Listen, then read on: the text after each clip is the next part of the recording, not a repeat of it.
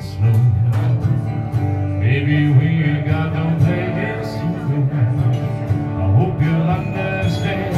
I've been thinking about this all day now. Never felt a feeling quite this strong.